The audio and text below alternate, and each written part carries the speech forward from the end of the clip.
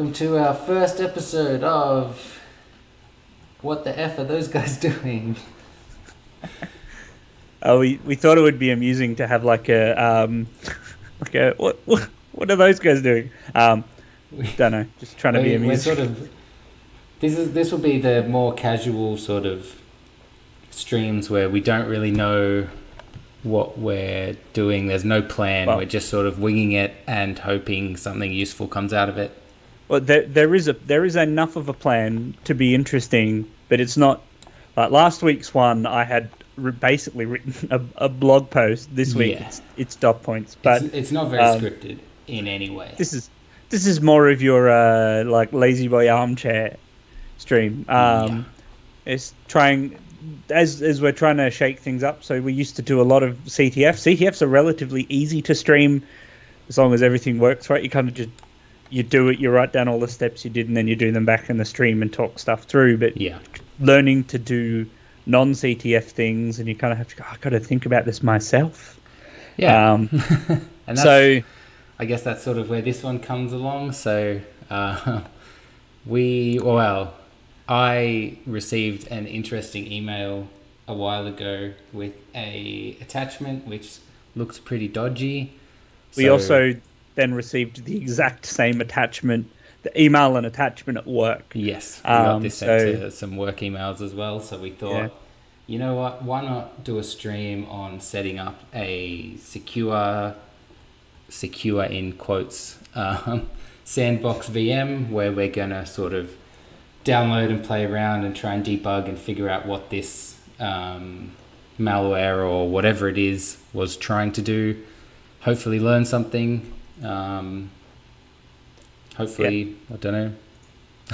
Well, as you, as you can see, so getting started. So this is what the email looks like. Yeah, So it had a title like INV. In this case, it's what one three four four four seven. So yeah, like trying to that- convince us that it's an invoice that we need to download and pay.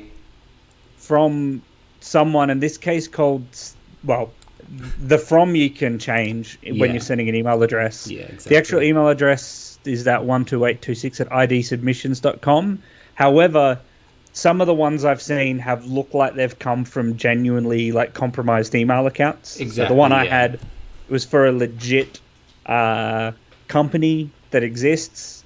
Um, that they didn't look like they were in the business of just sending spam. They were in the agriculture industry, and the, even the like name and the email looked fairly corporate, name format legit. And then you also get this attachment. There's a lot of numbers. That's a zip file. So one of the one of the things uh, is if you get an email like this with the zip file and you use Outlook, like if unless you've changed the settings in Outlook, and this is something I realized, it will try and preview the file Yes. uh, yeah. which can be a risk. So one of the things, first things, is when you're playing around with trying to get attachments out of emails so that you can get them into sandbox, is doing it the right way, uh, with without accidentally triggering something. In this case, it's a VB script inside it, and the VB script doesn't actually run when you preview it; it just shows up. But in theory, uh, there could be scenarios where things get previewed and actually run. It's one of the big problems with like um, broke like bad things in Word documents and Excels and PDFs and stuff is if you preview them or if the previews are automatic, at that point you're owned. It's like exactly. game over. Yep. yes, So, so, so that's why we're we're doing this from a web-based mail client, and also it's to help me download it into the the VM once we've got that set up Yeah. and ready to go. and the big the big white block is just to cover up some um, stuff that you know we don't necessarily need to make public on the stream, such as like actual email addresses and stuff. Yeah. This one's just the Proton Mail one. He's fine with that, but the from Yeah, Exactly. exactly. Yeah. Yeah. so Uh, that's so- that's why that's there. So this is the this is the file that we're going to be analyzing and debugging, and then um, we'll jump over and sort of show how we set up our our sandbox and reversing VM ready ready to take this file and not compromise our own machine if something goes wrong. yeah. Uh, although, just just to say, in this particular case, with this particular bit of um, uh, what you get isn't malware in the attachment. It's something that will No. execute and then do some nasty. Maybe it does execute on preview because it's just a VB file. Anyway, um, It's possible. I mean, it's a VB file, so it could be trying Yeah. to target something in So- um, so in Office. so to be clear, we're both kind of new to reversing stuff. Yes. So uh, this is us like learning kind of ourselves. yeah, this Um, is us learning and making it up as we go. Hence, sort of, I guess, yeah, yeah. the the We- naming of the series. Because yeah, we we're not experts in this. We're just sort of learning Yeah, as we, we go. know- We'll explain things to each other as we go, and hopefully, you guys learn something. Hopefully, we learn something.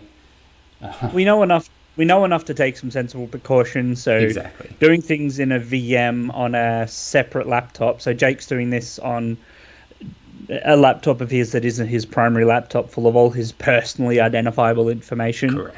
Uh, so if you ever want to do things like this, kind of uh, setting up a bit of a blast radius, as I like to call it. So the idea Yeah. is if it all goes sideways, how bad's it going to be?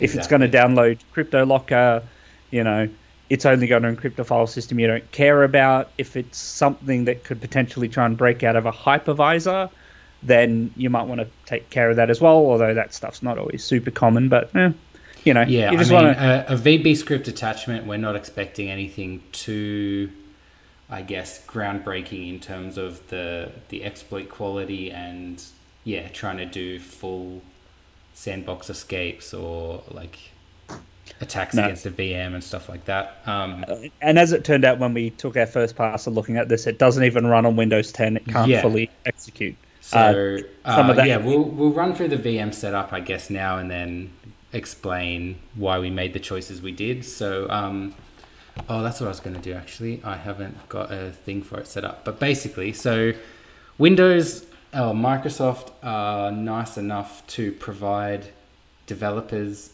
um, pre-configured virtual machines for all of the supported operating systems as a way of testing all the different versions of Internet Explorer. So what I've done here is gone and downloaded the. Initially, I downloaded the Windows 10 one, like we were saying, and um, running through and debugging it for work. Um, it got to a point where it was just throwing an exception and it wouldn't get any further as a script. And I think it was because there was something in the Windows 10 operating system that it was looking for that didn't exist or was configured differently or something like that. So I thought for the live stream, we'll give Or it a a go. vulnerability that wasn't an issue anymore. So exactly, it could be that yeah. as well. So we figured this time we'll try running it against a Windows 7 VM and see if we get different results. Hopefully we do. If not, we'll probably I don't know, try and make our Windows 7 OS a bit more vulnerable Uh, to either see way, if we can get past it. Come along. You can come along on the journey with us as Yeah. we figure a bit out. I mean, there's some some things to learn and see how we go. So let's Uh, get started. What does a VM look like? So, uh, does this have? Oh yeah, it's got devices and everything. Okay, cool. So basically, I downloaded the VM. What you have to do is, um, it doesn't show everything, does it? It's probably the wrong screen. Uh, anyway, so it's a Windows 7 VM, uh, Service Pack 1. I downloaded the oldest one, so the Windows 7, I think IE8 uh, VM, but there's a bunch. There's a Windows 7, IE8, 9, possibly 10. I can't remember. Um, but yeah, so this is basically the default IE Windows 7 VM. Uh, I did have to extend the hard disk, so by default it gives you a 40 gig drive. Um, we're installing Visual Studio on Studio on here, so we need a bit more hard drive space.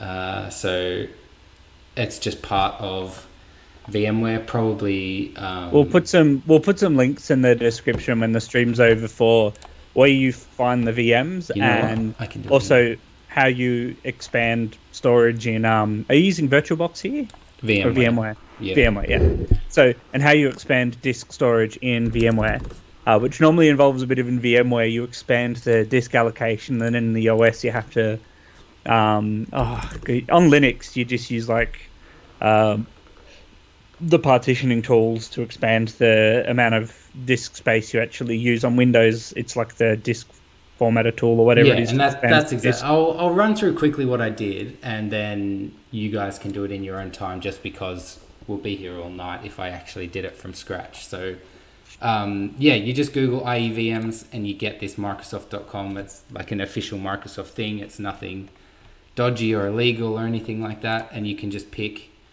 whichever VM you want, um, whether you want to test on Windows 7, 8, or 10. I've picked Windows 7 IE8 and then the platform. So if you're running, yeah, VirtualBox, VMware, Parallels on a Mac, um, any of that sort of thing, download it. Just just to be clear as well, it's uh, for for testing and for testing and purposes, so non-commercial use. This So, kind of is so for yeah for um if you run a company yes. or uh, even for personal use, you technically have to you you really you have to buy it. And these after three months stop working, so you yeah, have to kind of yeah, don't do it for actually using as your your desktop or to try and get licenses or yeah do any sort of commercial application development or anything like that. It's purely testing which is technically what we're doing so i'm gonna say it's okay. Yeah yeah. yeah. it gives you the passwords No, and I've used stuff if you like need them. And yeah, the download I think is about 11 or 12 gig roughly. So uh, yeah, you can do that. Set it all up. Give yourself a bigger hard drive, and then on Windows 7 at least, you can just the way that I do it is right click manage on computer. Wait for it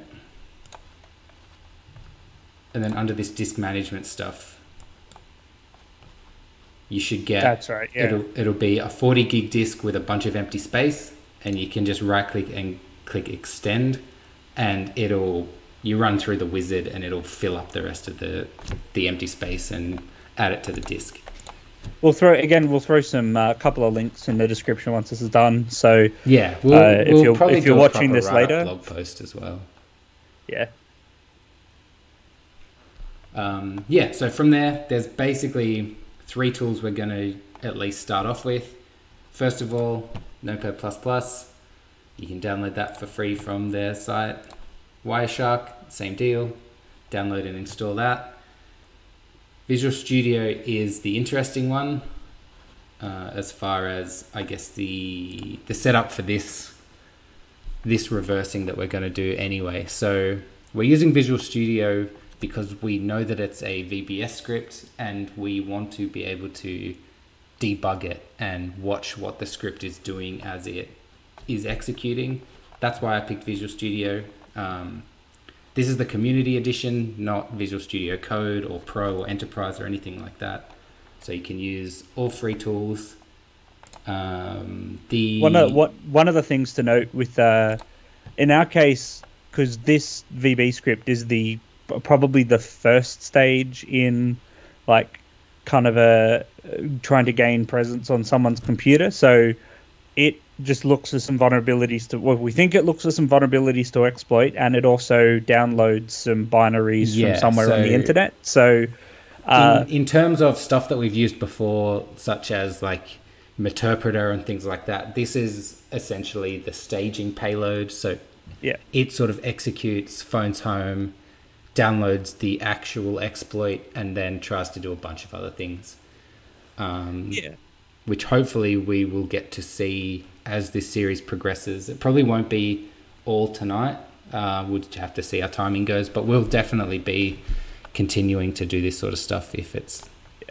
One of the other things, one of the other things to note is generally like scripts that are the first stage you can, and th- you have to debug because the scripts are fairly um, obfuscated. Like uh, we'll we'll show you what it looks like in a bit, but um, uh, if you're trying to reverse other stuff, hooking up a debugger to it. Uh, often, like especially when you get to the stage where you've downloaded a binary, has some stuff in there to try and figure out if you're running in a VM Yeah, or you're trying to debug it. yeah, that's which- where more of the smarts come in. Yeah, So basically, uh, when you're going through and installing Visual Studio, because we know it's a VB script, the only thing that we need is the Office SharePoint development stuff because that comes with all of the VB script development tools. Don't get that confused with the Windows desktop uh, VB stuff because that's, I think, the like desktop Visual Basic GUID style development stuff. Um, Visual Basic Forms or Windows Forms or whatever they're called. Um, what we've actually got is a VBS, like a, an Office VB script. So you should only need that um, that module when you're installing. Yeah. Also, is Queensland an hour ahead of uh, everywhere else in Australia? We are an hour behind. Oh. oh, so it's well, it's quarter past eight here for me. What's the time for you? Well, see, I don't know. So your VM says nine thirteen. That's all.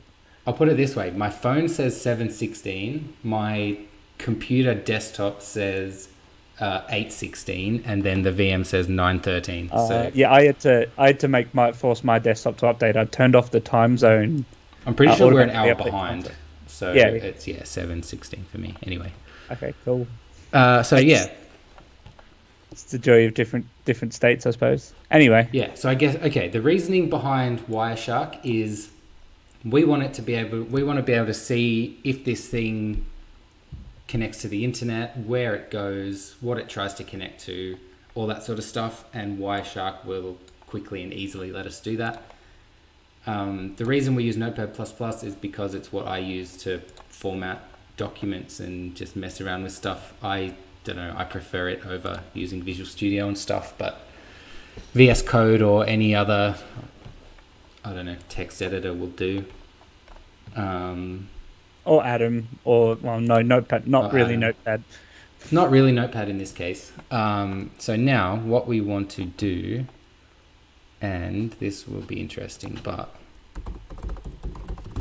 so at the moment we're connected to the internet. We needed to be to download all of this stuff, um, and to download the the zip attachment itself currently I've got it set to natted, but you can use any really.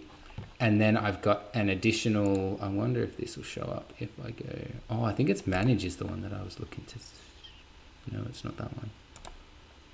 Settings? Oh, the menus don't, the menus don't show up. yeah. Um, On the, uh, if you're wondering about the random mouse movements before that just showed up. Uh, oh no, it's showing up the, now. Yeah, go. yeah, that shows up, but the menus don't. Okay, so yeah, the setup for the VM is, I mean, I've given it seven gig of RAM and four cores, just because I can on this laptop because I've got them spare, and Visual Studio runs like a dog otherwise. the 60 gig hard drive that we talked about, I got a NAT adapter, and what I'm going to add is another one, which I didn't pre-game, which is going to be on a custom network. So let's pick 13 because it's about as close to LEET as we're going to get.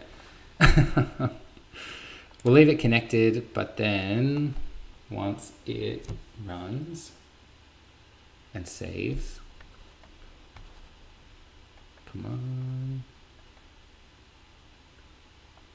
on. Uh, it's got to shut the VM down and restore it so it yeah. sees the hardware. Yeah. So basically, the idea here is we're going to have a internet connected adapter that we can use to download the the suspicious package and then we're going to disconnect that network adapter so that the VM's no longer connected to the internet. But for Wireshark to be able to listen and try and capture packets and see what this thing is trying to connect to, we still need yeah. some sort of network interface. And so that's why we're going to create a new one which has no internet connectivity and no connection to our host um, laptop or device as well, and that'll just make sure that um, yeah, if this thing tries to do any lateral movement across a network or anything like that, it won't, or hopefully won't get out of our VM. Yeah, and that's which is again some of the sensible steps to take to minimize uh, kind of something going sideways. Yeah, uh, exactly. Some malware though, if and we might find this if we get further on.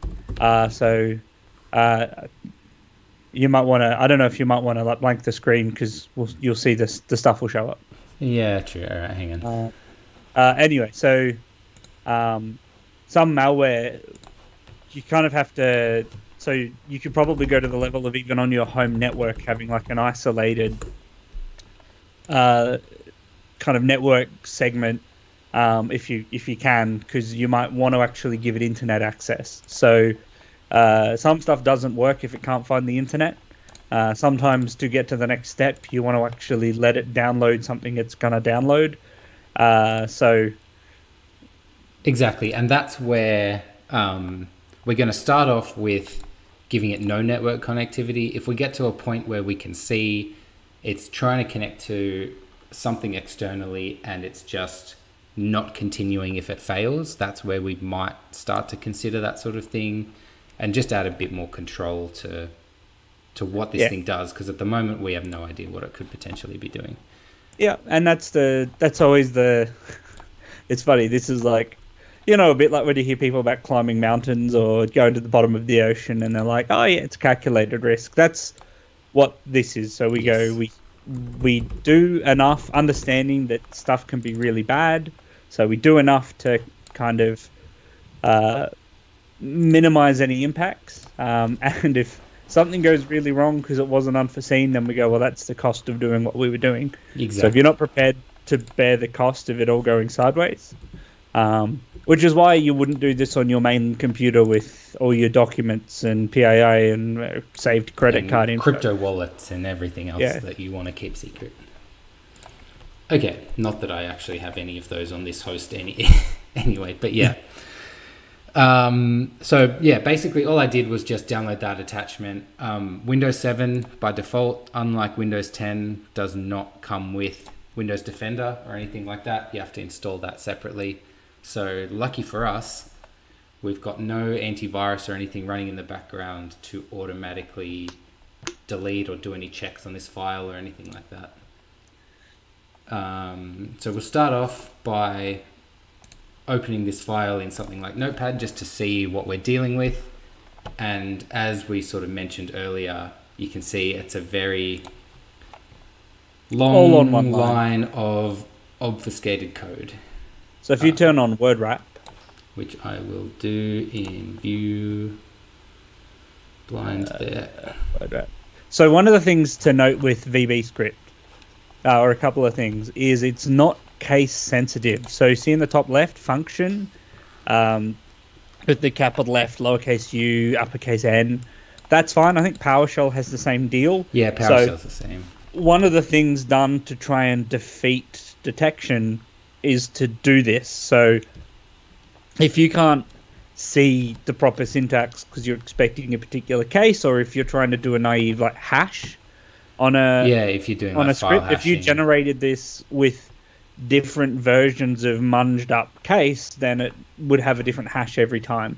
Uh, so it's a- a relatively naive way, but sometimes surprisingly functional way. I'm guessing because of the prevalence of it.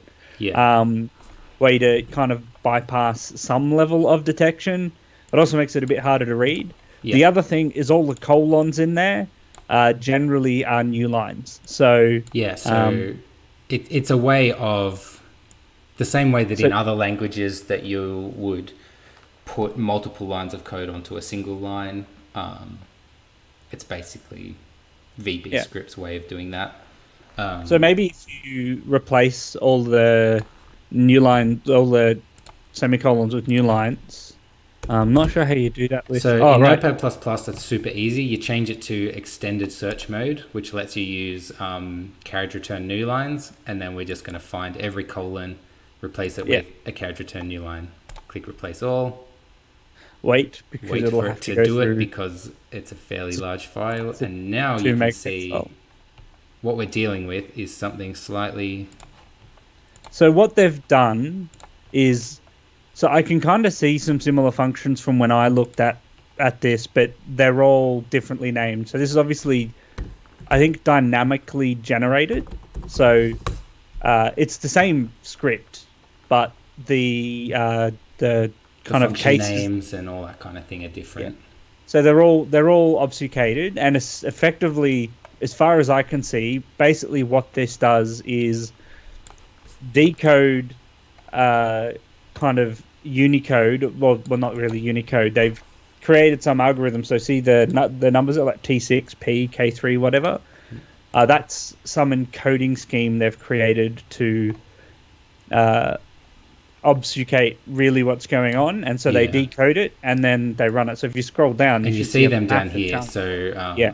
yeah, Yeah. these here are basically an array of variables, and then there's just sort of recursive arrays filled with variables that eventually get um, Yeah.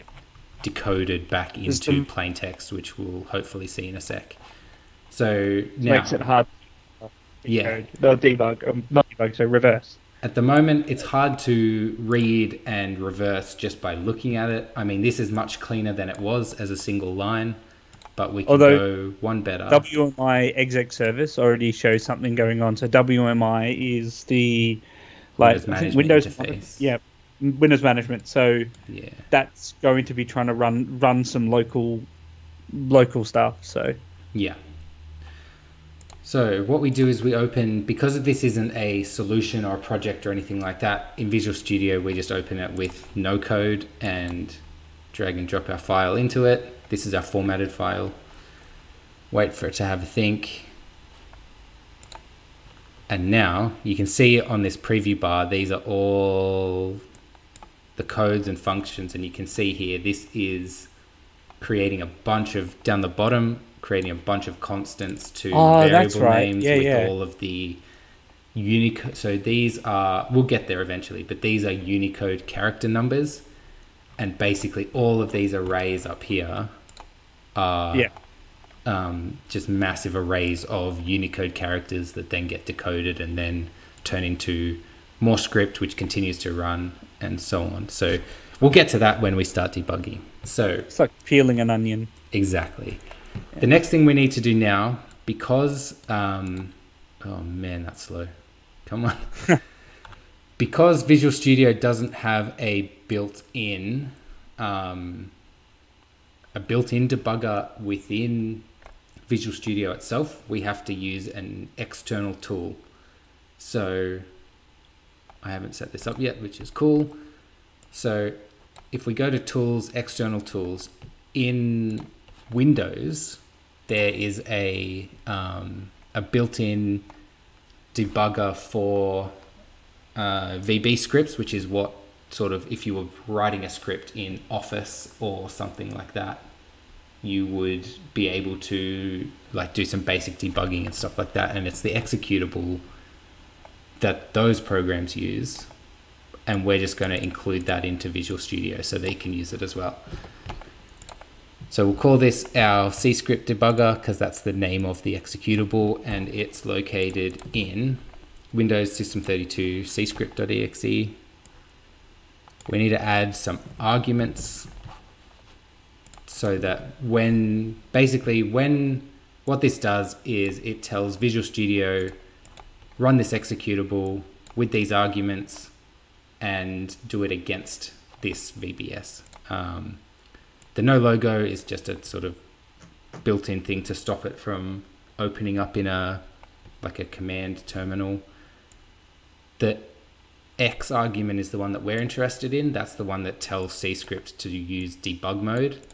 And the item path is just to run this in the path that the VB script is in, not in the System32 directory. Actually, that's what the initial directory does. The argument. I'm pretty sure that's right. Oh no, this isn't item path. This is item dir.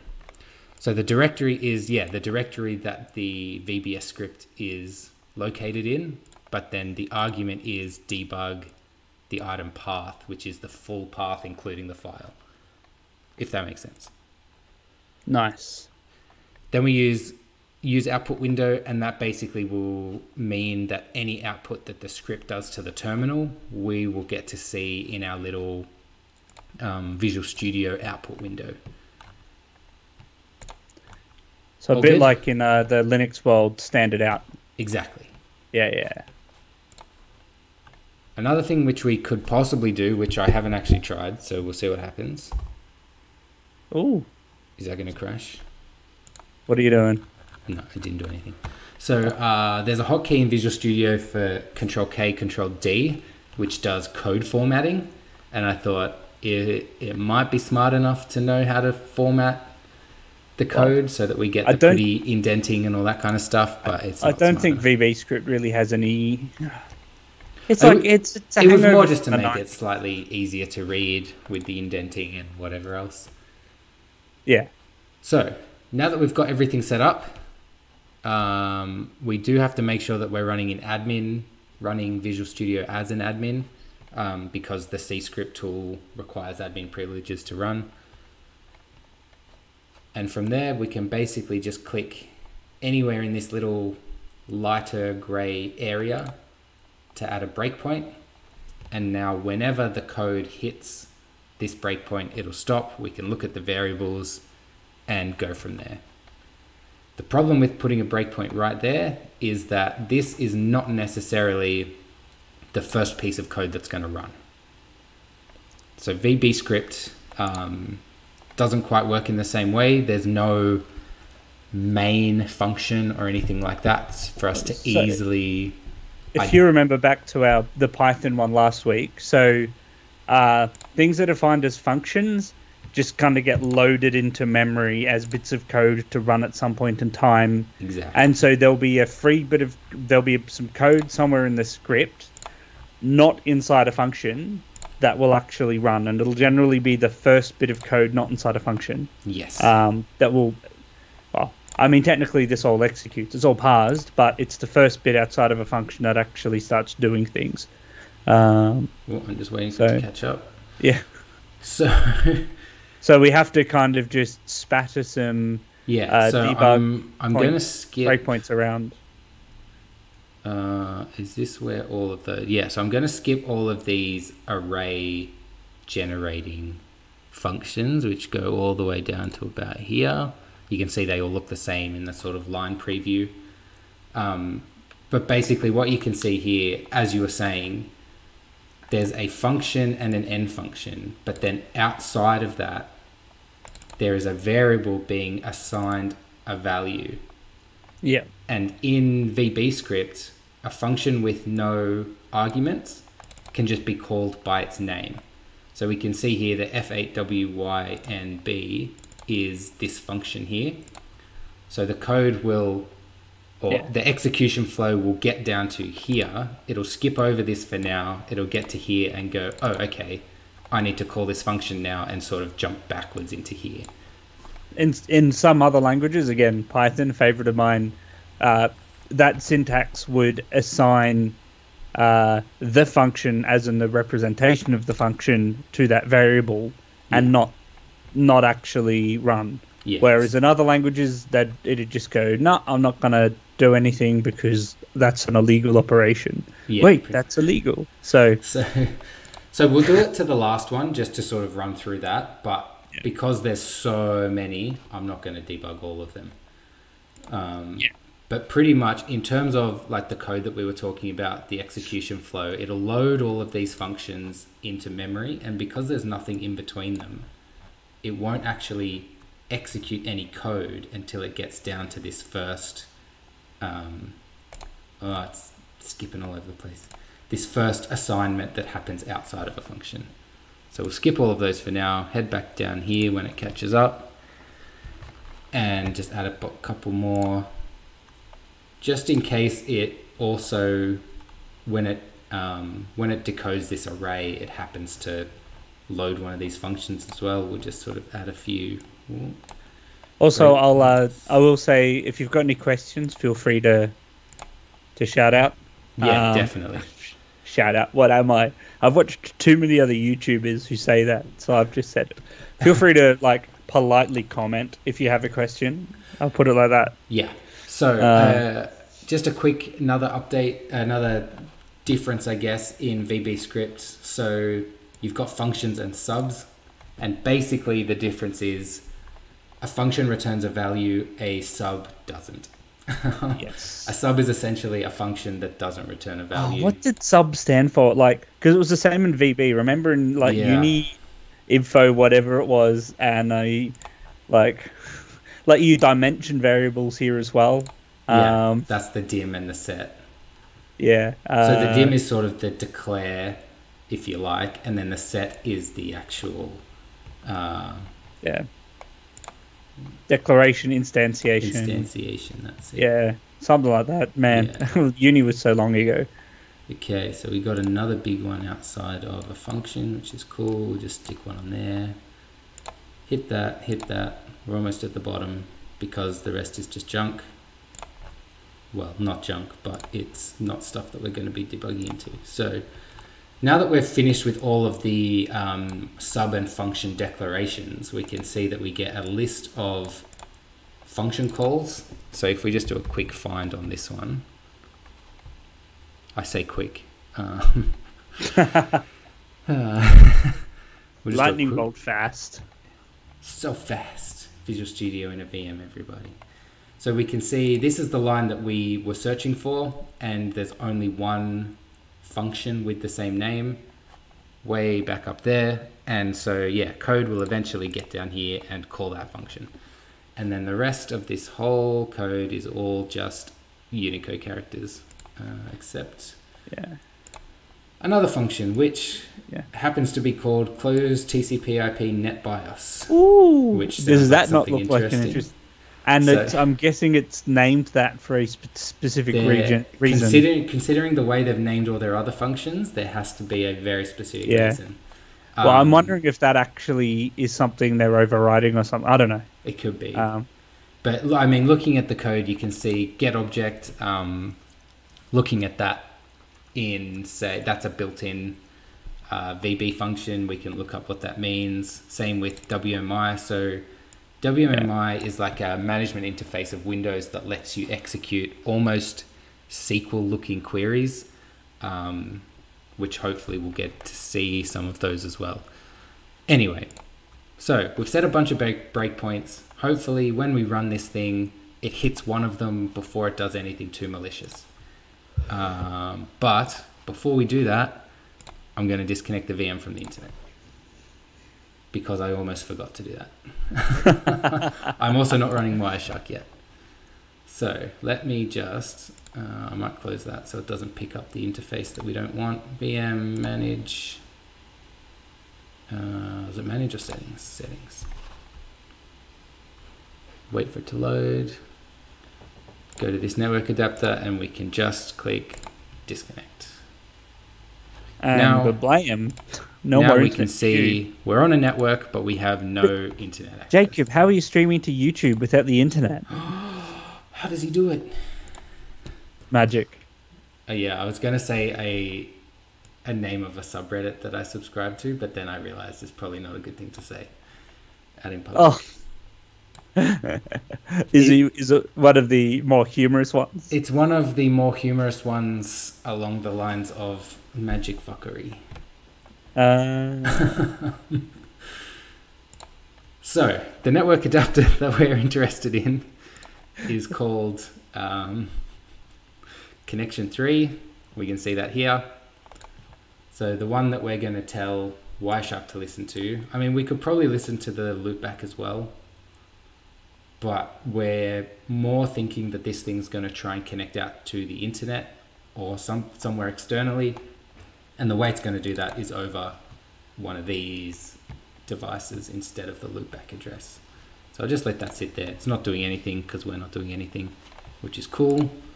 And then we just go into our tools and we can see here now that we've got our C script debug that we created. And all we have to do is click that, wait for it to have a whinge, and that's not what we want to see because what, what it's done is run the code and not hit any breakpoints. Awesome. Where do I need Oh, to put a breakpoint for this thing to s- trigger? looks like it's uh, trying to run IE though. No, no, that's the. I'll I'll show you how I know that in a sec once I get it to break in the right spot. So if it So goes into there, it should hit it. It should hit it. It should hit it. This is uh, we've just moved on from security to being a normal dev.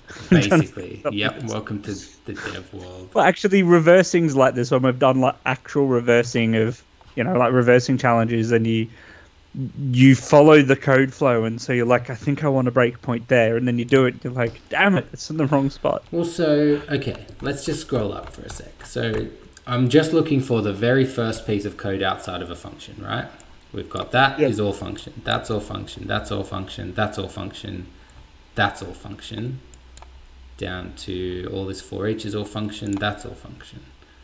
That's all function. That's all function. That's all function. That is all function. That is all function. That is It's all like a function. song. We could turn this Ah. into like the new intro.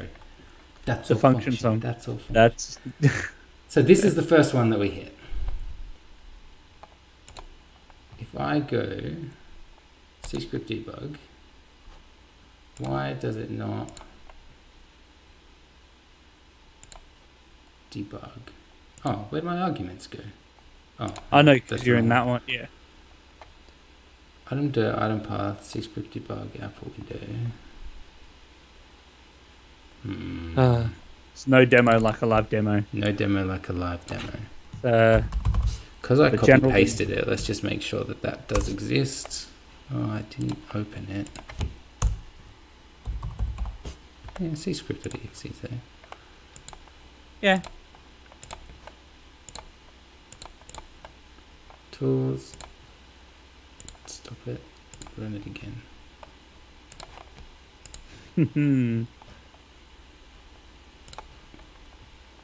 What's going on? Okay.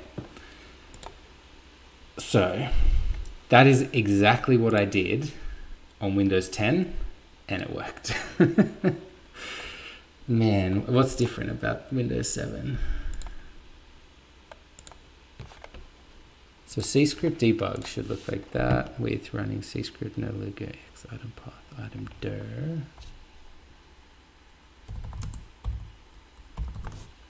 Let's try running it from the command line and see if it's any different.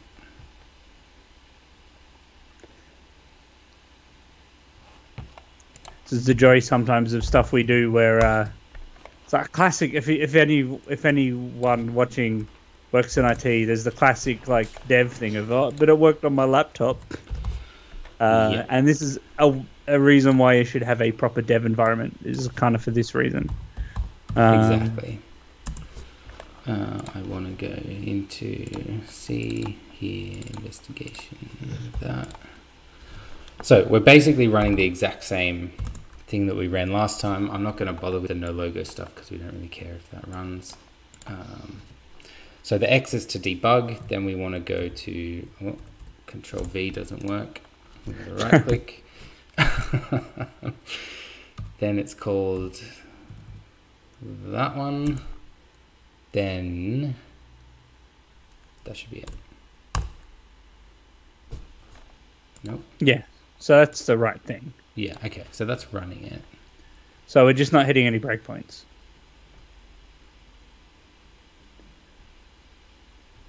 Why is it not hitting any of the breakpoints? Is the annoying thing. I mean, the other alternative is you can just uh, update key parts of the script to just print out what the variable is. That'll that'll tell you stuff.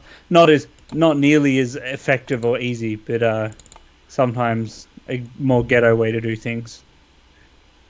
Well, so instead of all this stuff, we can do um, the VB. On, let me do it all. Oh, I don't have internet on this. Never mind. I'm not going to Google it on there. now, especially now that it's been running a bunch of times, I'm not super confident connecting it to the internet. Um, so VBS right to console. And we want to run wscript.echo. Easy. So let's just replace this with wscript.echo, and then hopefully that works. It says to just do it as a string, but this will be a function, so we'll see what happens. Cool, done. Let's just see if this writes anything to the console.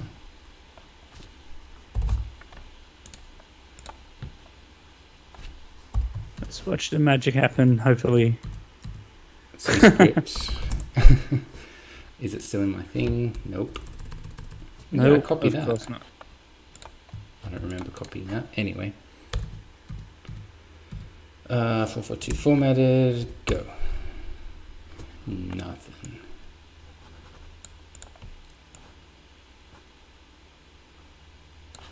Awesome. I think we're near enough. So maybe what we'll do is we'll go figure out why it's not working, uh, and then that's. I mean, we thought this might be a few parts potentially anyway, Yeah. um, rather than everyone having the entertainment of uh, listening to us try and solve a problem that we're like, why is this not working now? Why don't um, you do it? On the on the flip side, uh, so as you can always talk about the the amusing news that's kind of uh, inevitably happened in the last um, last week. Do it. Uh, iTerm two. So like if you have a Mac and you use iTerm two, which I used to when I had a Mac, uh, it's like it's a critical remote code execution issue. Uh, Yeah, that was a good quite one. amusing. Yeah. Seeing what exactly the problem was. Uh. Oh, oh, okay. So they haven't got a technical write up yet. Probably because it's so close to it actually happening. So quite often a vulnerability will get disclosed, but no information on how it works because they're trying to give enough time for people to patch up before they um, let things go wild. Yeah, that's that 90 day disclosure period generally. Well, or even then, days. once everyone's agreed, like when you release a patch and say it fixes a critical issue, so you should patch it. Uh, yeah, true. Generally, you, they release. you still give it a bit of time before you go. And by the way, here's the technical detail. Yeah. Um, it's seven years old though. Wow. Um. Ah. A friend of mine suggesting there might be a break on first line option in Visual Studio. Um, yeah, or we could just do right at the top of the file, put our own function, um, or put it, put something that'll run, and then put a breakpoint on it and see if that'll work. So, uh, just echo something out and then put a breakpoint on it and see if it stops. And if it doesn't, then it's obviously something different on Windows 7 as opposed to um, yeah. uh, 10. So you think there's something in here to say? Also, uh, no, it might not exist in Visual Studio. You just suggested it might. If you go to the top line, though, Uh, there probably is in here. Debug options. Break on exceptions. Break before deleting breakpoints. Uh, yeah, no, probably not. Um, just add something to the first line. Uh, break on exceptions, yeah. Break on exceptions, enable that if it's not already enabled. Uh, what was that? Break on exceptions. Well, there's that. Uh, okay, that might not. Yeah, the problem is, is we're not exactly using out of the box functionality, like kind of integrating it with C script. Uh, yeah. so it's, Well, it's also possible that I do need more modules than just the one that I said I installed. Um, potentially. So let me just. Alright. This is a. Don't try this at home. If you've run a script that you're not sure about, do not. Actually, I could go back to a snapshot. I might do that. Okay, never mind. This should only take a sec. We'll jump back to a snapshot before I try to run any code. And from there, I will reconnect to the internet and see how long it takes to install. It'll probably take Well- way too long. Oh, it'll break the stream probably, won't it? Why? I don't know, because my internet might not be that good. Oh, downloading stuff. Yeah. Uh, um, while we're waiting, uh, Twitter also accidentally sold private questions as a part of their like user data set to Oh. advertisers. Really? Yeah, we recently discovered that when you provided an email address or phone number for safety or security purposes, for example, two factor authentication, this data may have inadvertently been used for advertising purposes, specifically in our tailored audience and partner audiences advertising system.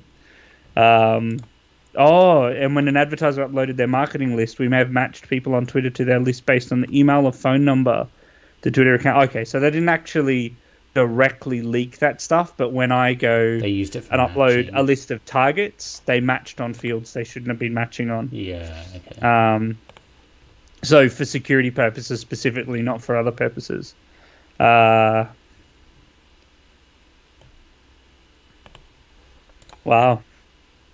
That's a bit of a challenge though, because advertisers can do that. They can go here are leads, see if you can find them in the sets of data that you, you're allowing us to match on, and then they did it on stuff they shouldn't have. Luckily, I, I mean, it's probably semi-problematic, but my mobile number is not registered with Twitter. no, neither's mine. Um, So yeah, there's um, the window that I've got in my write up, like the the sort of screenshot thing. There's a thing called the the Visual Studio Just in Time Debugger, which isn't prompting for like the prompt isn't coming up that I was expecting it to. And now I just got to try and figure out. It could be actually straight up in here. Come on. Oh, the joys of working in a VM and a live environment. Come on. Come on, come on, come on, come on. Come on. let's This do is it. taking longer than expected. Yeah, no, no shit, Sherlock. No shit. All right. Uh, let's just quickly look at this and individual components. Probably doesn't help that I'm trying to do two things at once. Uh, is the just in time. Aha. Just in time debugging is a separate thing.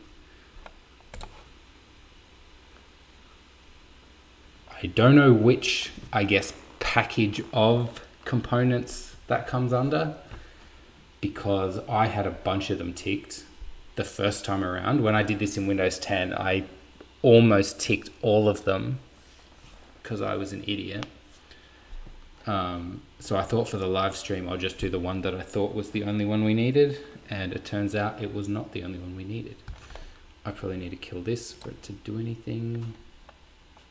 Yeah, yeah, yeah. I got you covered. So, yeah, we might also need this just in time debugger. There's probably potentially another one that we need, but hopefully that's enough. We'll see what happens. I completely forgot about that. How's everything going? How's your week while we're waiting? Yeah, not too bad. It's funny, we seem to be doing the intro stuff at the end. Yeah. Uh, yeah, you know, just another week, just working, working hard or hardly working. I don't know. You know that old joke, beaten Yeah. hard or hardly beaten. Um, Yeah, that old thing. just doing bits and pieces, playing some guitar. Nice. So you loving a how-to videos? It's like, so yeah, no, just learning to play guitar. While, while No, we're, while we're I already can play guitar, but Visual Studio to do its thing.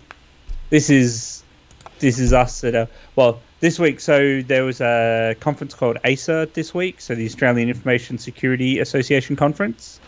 Uh, so Th- Jake this is our that. excuse for being so organized Yeah. this week. jake was at that. I went to the dinner thing they had on tuesday night which is why we didn't stream on tuesday.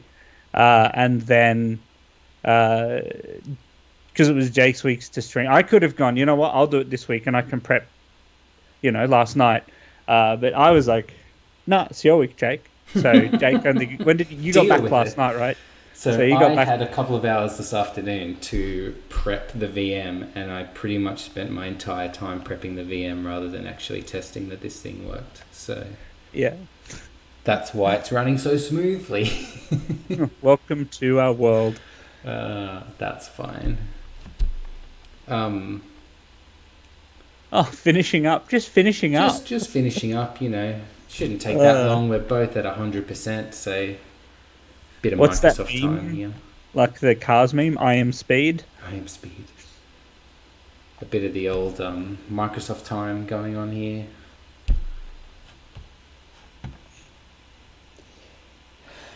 oh, there we go. Sweet. Sick. Let's do it. Let's see if that's all we needed, and if it wasn't, we might have to f- do a follow up in part two, where I get it working and then figure out what, what I was missing. Probably something really dumb. File. It's not a project. It's a. Okay, fine. Normally there's a recent files as well, uh, but that might be an enterprise thing. Uh, where did I put it? Here here. I'm faster than the Windows. Come on. Oh shit! No, right. Yeah. You, I uh, went back on a um, you snapshotted, so snapshot. So let me just. That's the wrong one. Let me just go back here for a sec. Everyone, look at our pretty thumbnail for a minute while I download this file again. uh,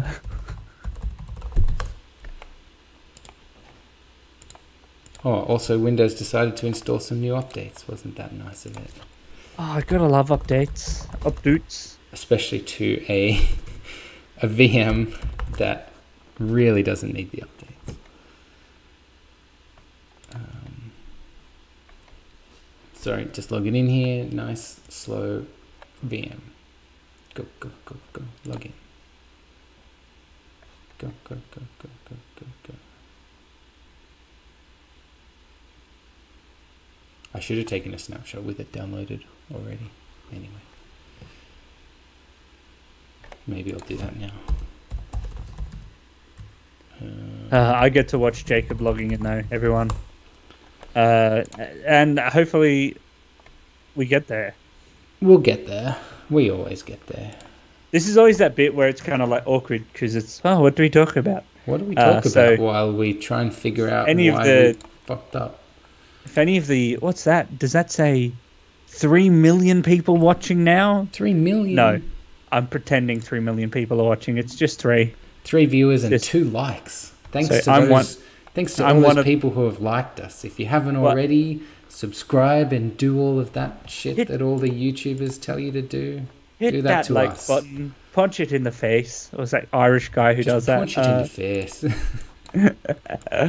Uh, um, and I'm one of those three people, by the way. So oh, I can turn this into like three likes. Ooh, yeah.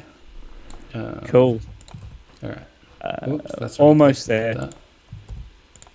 Oh yeah, right. Hang on. Uh, let me just swap back You'll be able to to what I'm doing because Your quality splash screen. there we go. How good is Paint? So good. We are just the best at paint.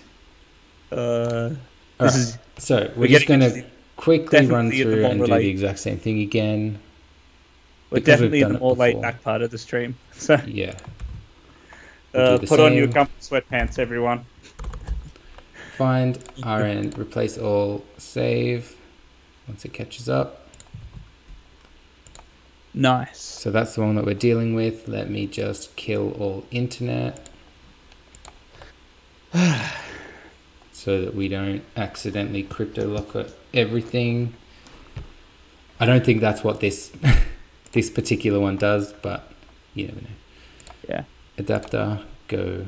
I think it had like a malware, particular malware thing that I've never, I never bothered to actually look at in uh, Works ATP.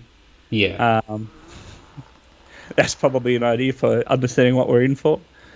But you know what? Just like, why not explore? Uh, you know, if you're gonna walk into a cave or go up a mountain, why not not know what you're getting yourself into? Well, that's it. And when I when I was doing this for work, yeah, I got to the point where it was um, like I did it basically exactly this in Windows 10, and it was downloading or it was trying to download a couple of binaries in a DLL, and then after that it was throwing an exception. Um, and so that's as far as I got in Windows 10. It wasn't throwing an exception because it didn't have those files. It was throwing an exception running one of the WMI queries, which made me think it was a different version of Windows that I needed to to run or do this debugging on. Uh, but anyway, And there's plenty of Windows 7 still around. Plenty of corporates still use it. exactly. Uh, I think though support official support runs out soon. It does. Yeah, 2020, isn't it? Sometime Ah, next year. 2020. Man, I remember when Windows 7 was new, but Windows 7's probably j- just as old or older than XP was when Windows 7 came out. Yeah. What, 2008, 2009? That's when I started using the beta anyway. Oh, there was Vista in there. That piece of fun. Vista, I just- remember Vista being massive in high school, yeah.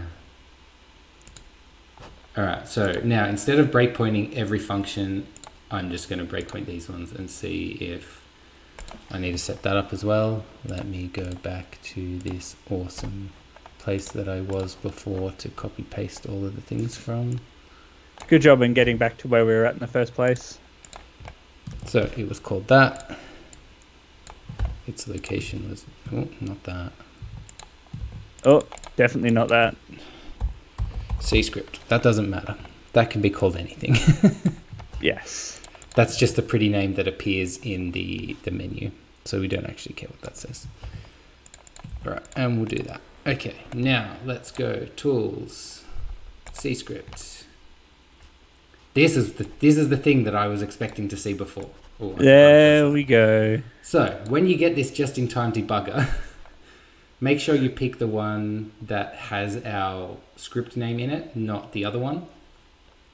And now it should hit one of these breakpoints.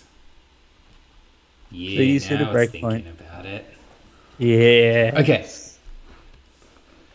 Cool. So we hit our very first piece of code. From here, we can push uh, F11 is step into, should be that one. F10 is step over, and Shift F11 is step out of. So because we don't want to skip this function, we want to see what this function does. We're going to hit F11 to step into, and you can see that execution flow goes from down here up to here. And now if we F11 over this, we can go into our variables and looking at our local variable, we can see that this func this um, variable is an array with a bunch of numbers in it. And these numbers are Unicode characters. We'll keep stepping through. I'll probably just step over all of these now. Uh, So you know from what? memory, I'm just gonna the the step into, step over, step out of are like so. Step into is step into and run through a function that you may have hit as a part of a breakpoint. Yes. Step over is, I think, literally just jump to the next breakpoint. Is it? Or No, step over will um, skip to the next line. So you can see here, Ah, okay. currently Yeah. my code execution is here. If I press step into, it'll go into this function. If I do step over, it will still Okay. execute this function, but it'll go to the next line, which and will step be out down of here. and step out of just runs through And your then step code out of will just, yeah. And you can Yeah, push back. F5, which is continue, and that will jump me to the next breakpoint. So if I push F5 now, we should jump all the way down to here.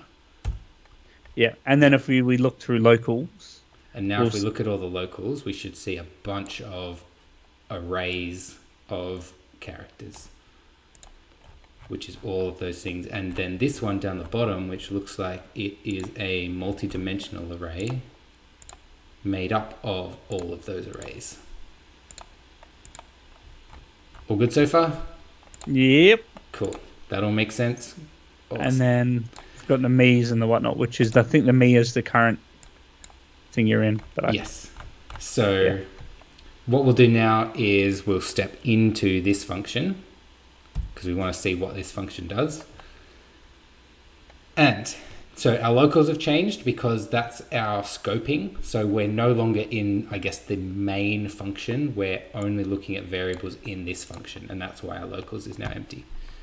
Um, we can see now is probably a built-in for the current date and time, which it is.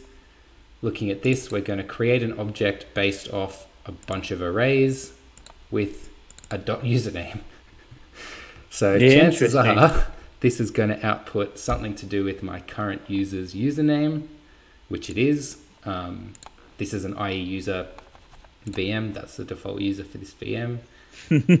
now we're creating a message box with a bunch of stuff in it. Now, what I can do is F11 into this and we can go in and see what this, so you can see this function is taking an argument of an array of items.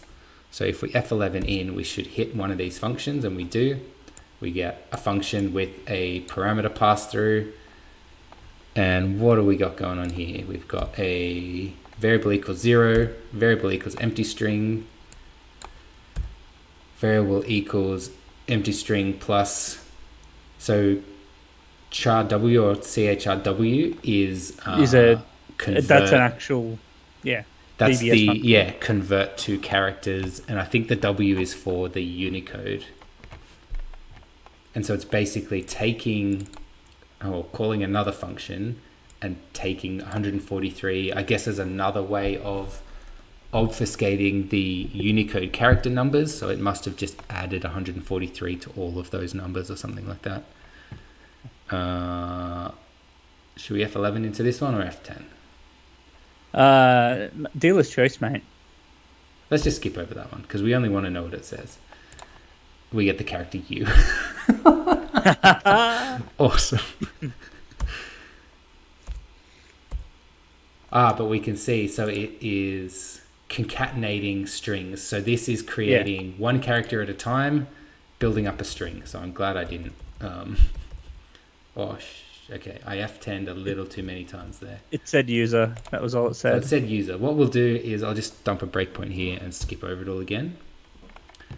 So it said user, then it says an unexpected error has occurred. But this is a string. Okay? Yes. Now what we're doing is it's got the word MS Word. And if yep. we run that again, so the place that this function was called, remember it was within a message box function. So what this has just done is create a message box and out of all of that obfuscation and arrays and all of that shit, it built this string basically to pretend to be MS Word and prompt an error saying that the IE user has an unexpected error. Ah. Uh, I, I hadn't read that properly last time, and I just assumed yeah. it was a legit. Tried doing something with no, IE, but so that's why okay. when I was trying to run it before, and this popped up straight away, that's how I knew it's not debugging properly because yeah. it's all part of the the malware, I guess. So yeah, while this so this pops up, the user goes, "Oh damn, it must have been like a, a word document or something," I guess. Clicks OK. Yeah, so this is the code that we just ran build a message box from that function plus all of this other stuff. And yep. it was basically a faked error message. So, from an attack perspective, if this previews in Outlook, for example, what's going to happen is you will go to open the email preview, you'll just see an a MS what looks like an MS Word error, except MS Word doesn't quite error out like that. But no. um, to an unsuspecting right. non-technical person, it's believable. And then you hit OK, which I'm guessing it's gonna. That's the start of the pretext. Yeah. So I guess in the meantime, because we had breakpoints, it's slightly different. But without the breakpoints, it would potentially be continuing to run in the background or waiting for the user prompt so that it can go and do something. I've kept it connected to the internet, but who cares? Um, that's just going to be a lot more messy. Like there's already a heap of shit in there. Oh well. We, we might not analyze any of the traffic tonight anyway. We're already over time, but that's fine. Do another quick quick run through. We've got so now we've got two two variables with time in them, and we're doing a date diff.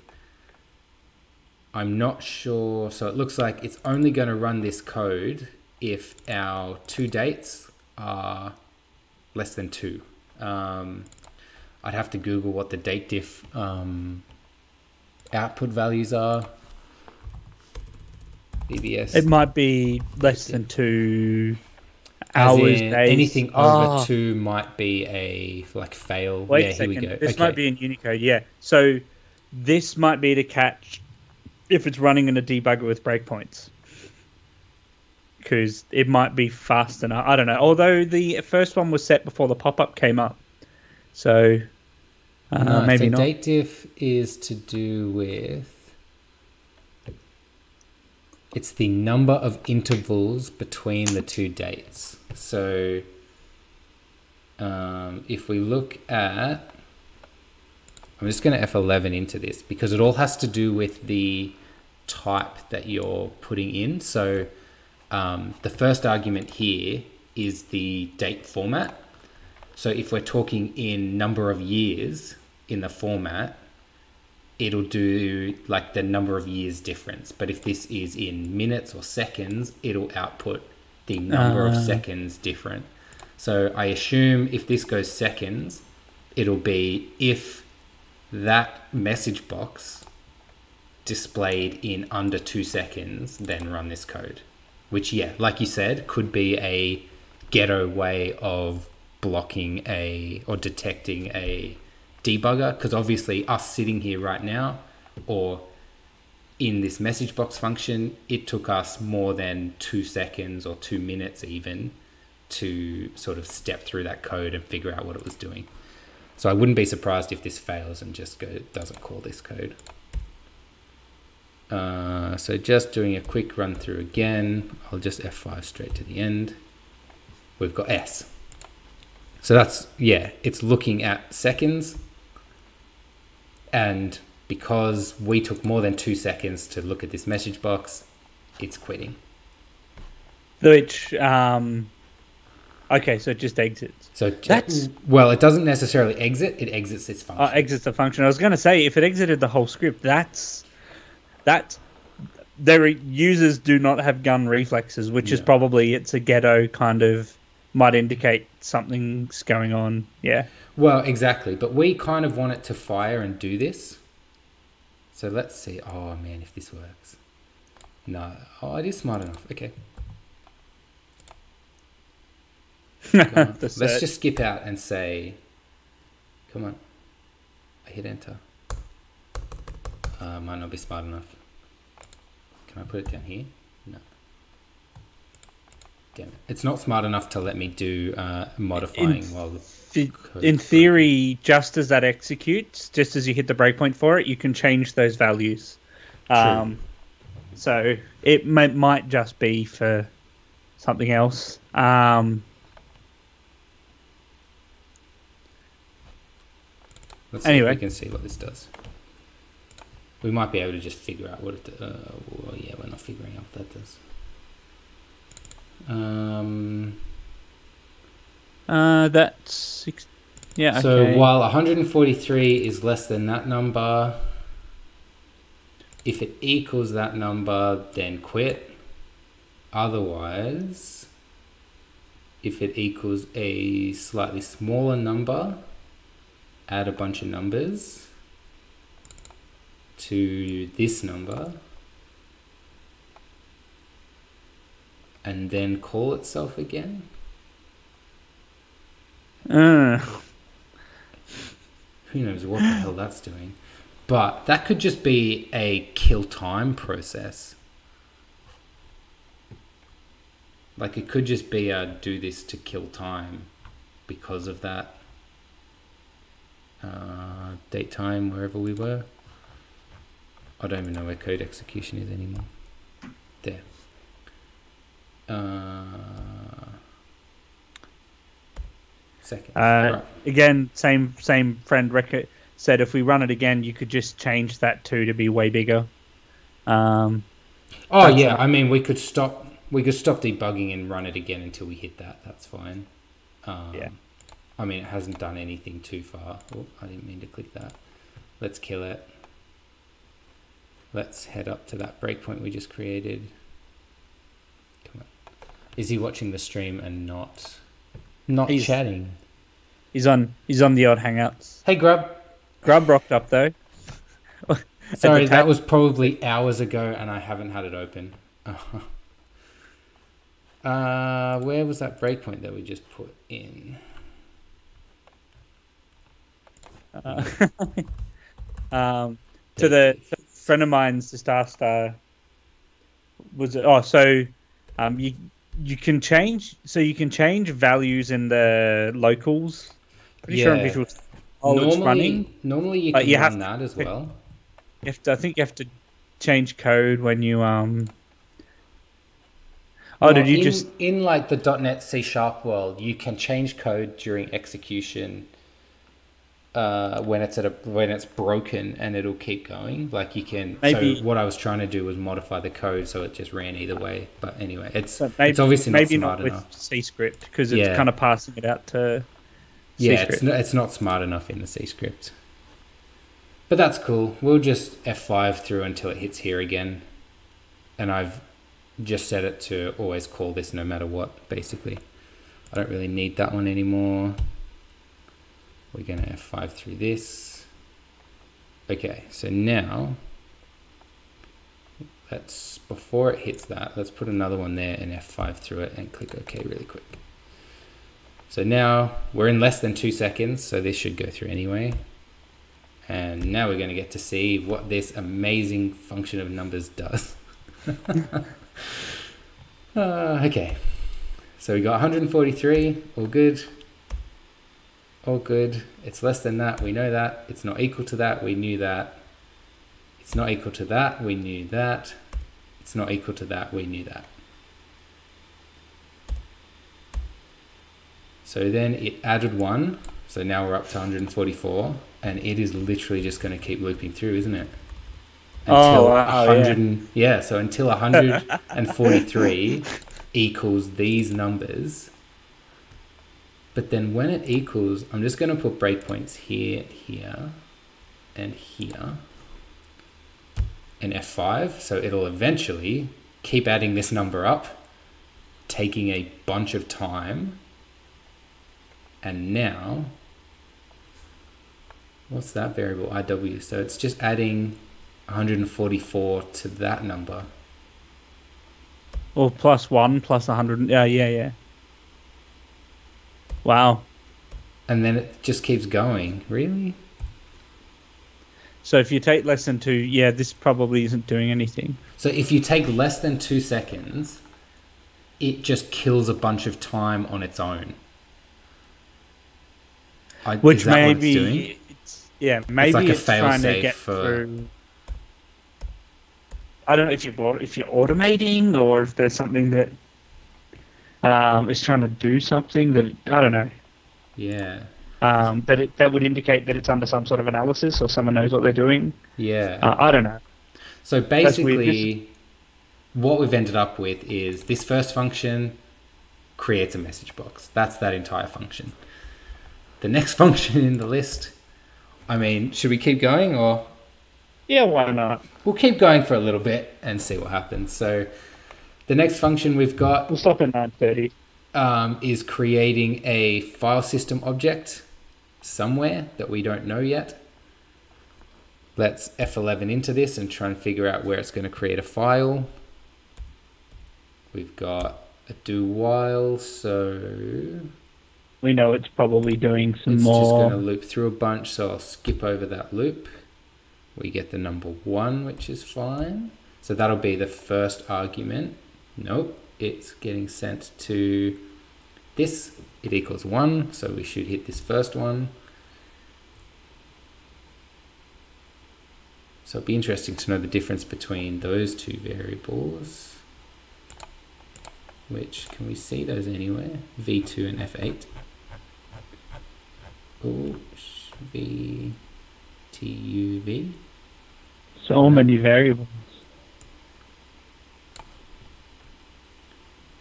Oh, V2 is like a, it's a constant, so it'll be down here.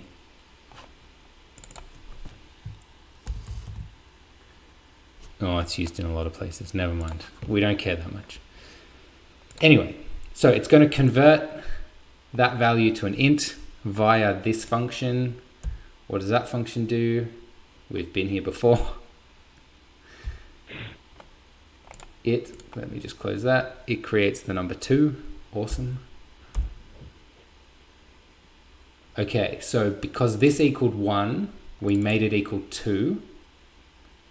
And now we are going to create something again. Get special folder two. So that's obviously a built-in VB script. Get special folder. And I'm just Googling this on another screen. Get special folder obtains the full path to any of the special Windows folders, desktop start menu, etc. so it's Uh, basically another way of grabbing system directories. And number two looks like it could be user programs. Depends if it's a zero or zero based array or not. We'll find out. Oh, it's temp. Okay, cool. So Cool. basically, you can use this with the number two to get the path to app data local temp. Now what we're doing is converting that to a string plus b pz, which we don't know that's another function, which is this again. So now we're going to decode a double slash, that's fine.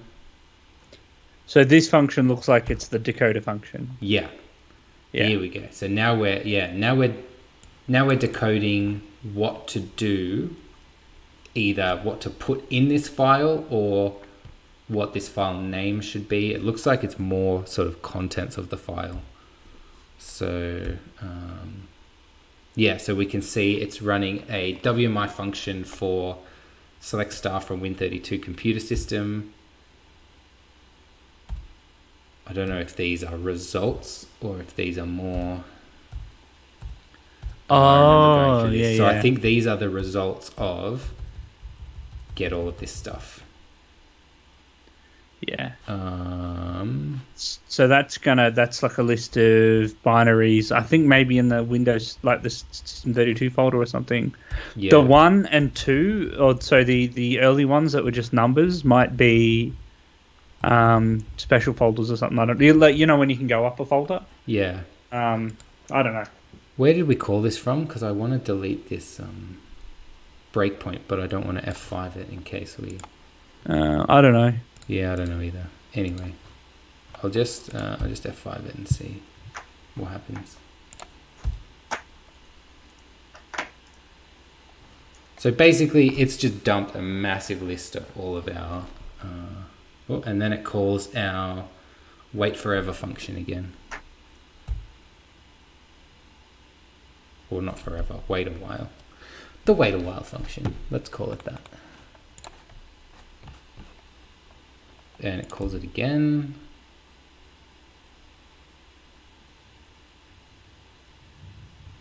And it calls it again.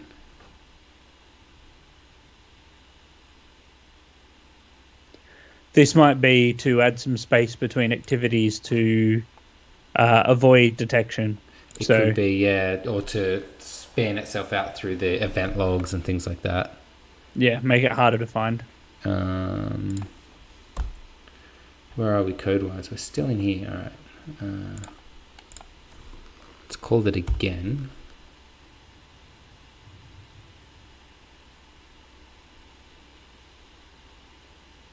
How many times do you want to call this thing? Yeah. There we go. F10. Oh, yeah, it does. It just calls it a bunch of times. Okay. Awesome. so, yeah, it's just like adding a bunch of padding to it. Oh, we've skipped a couple. Okay, awesome. Anyway, we skipped a couple. We can go and have a look. If I go, uh, is it temp? Yeah. Has it created any files or anything that we might find interesting? Don't know if these are anything. Probably not they're gonna created be- by it. Yeah, Yeah, they're the Wireshark. Um, yeah, they might be all Wireshark related stuff. So it doesn't look like it's creating anything in temp. Well, it, it doesn't have Not anything yet, anyway. created yet. Yeah. Yeah. Uh, that's just doing that again. Let's skip over that. So it's running it again. So then, yeah, that's sort of executing that query, I guess. Select star from video controller. Uh, yeah. That's probably webcam related stuff. Or either that, or it's just trying to see what's on the computer. I don't know. Maybe basically looks some- like it's just trying to enumerate the box and get as much as it can about the box. Yeah. It did a wait again.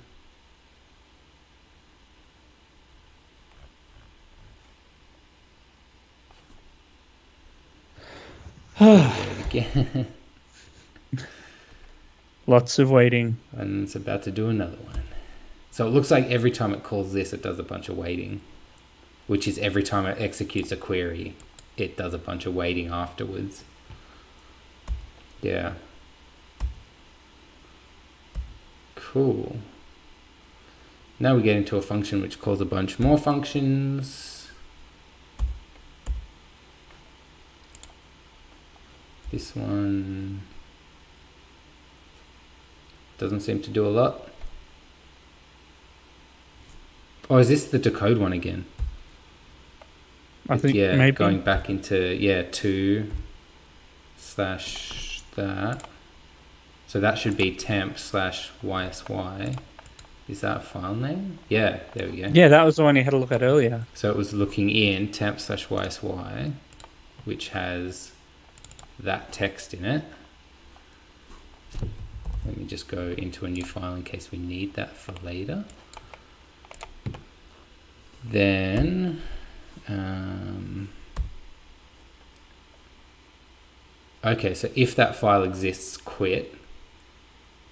Otherwise, it creates a text file. Yeah, okay. So because that file still existed, it killed itself. But I don't know what the, was the point of this file. Maybe it's um. Oh, but this is the. That wouldn't have already run because we ended before it, unless it creates that fairly early on. Yeah. Um, and so it's if you're trying to run it again a second time, it it goes. Oh no, I've already infected this computer. Potentially. Um, yeah. oh well, maybe next time we can run through this can- in a bit more detail, or Indeed. we'll continue with some Python stuff, or do something else. Anyway, hopefully this helps teach you something about reversing files. I don't think we got to the point where uh, Even if it's the mistakes not to make. Yeah, exactly. Well, Yeah. it does. That doesn't help. Wireshark crashed. I was still connected to the internet, so that was always fun. Debug Wireshark. No, that's fine. Um, it doesn't look like it down. Well, it didn't download those DLLs or anything, at least into temp. So it must be downloading them somewhere else. Unless we hadn't got to the bit where it downloaded them yet. I don't think we did. No, I Yeah. think it crashed because it found that file. Um, but that's okay. We will maybe play around and not script it out, but at least practice it a bit more, maybe, so that next time runs a bit smoother. Anyway, thanks for watching. Cheers, guys. We'll see you next week. Indeedy. Bye.